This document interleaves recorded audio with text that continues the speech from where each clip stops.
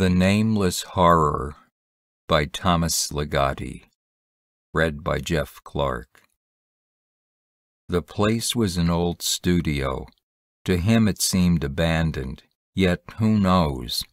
Certainly nothing there was in its place, not the broken odds and ends lying about, not the scattered papers, not even the dust. The panes of the skylight were caked with it. Yet who can be sure? Perhaps there was some imperceptible interval between occupation and abandonment, some fine phase of things which he was simply unable to detect at the moment. He stooped and picked up a few of the wrinkled papers, which appeared to be drawings. Now a little rain began drooling down the panes of the skylight. He looked at the drawings, shuffling a stack of them page after page before his eyes. So elaborate, everything in them was made of tiny hairs or little veins, insect veins. There were shapes.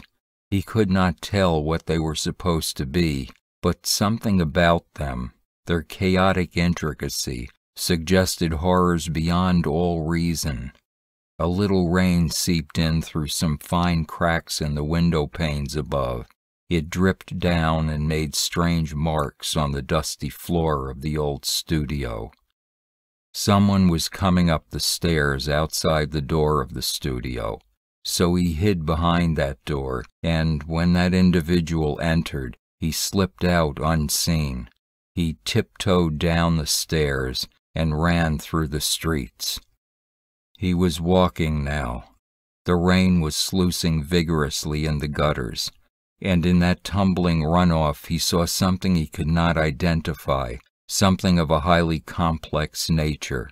It looked like the bristling tail of a small animal, but it was also making weird wriggling movements as if it were moving on its own.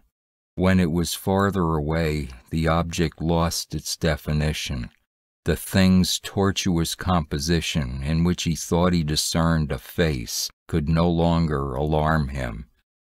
But the rain was coming down even harder now, so he retreated into a shelter along the street.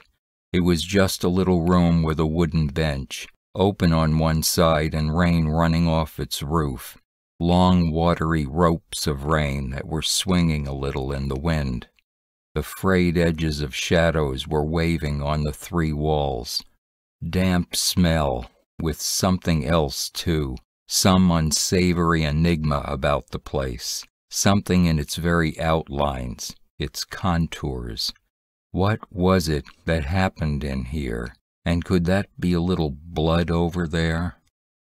The bench where he had sat down was now gleaming with dampness in the moonlight.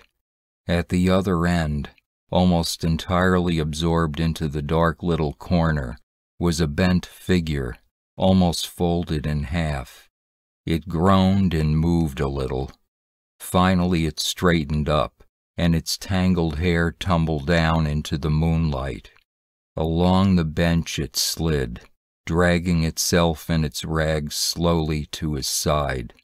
He, on the other hand, could not move an inch, not a hair.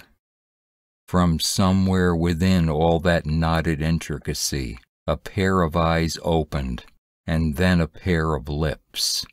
They spoke to him. Let me tell you what my name is.